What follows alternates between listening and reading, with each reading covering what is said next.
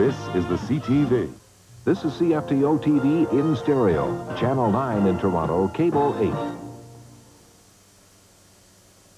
This is a CFTO News Special. This is the CTV Television Network.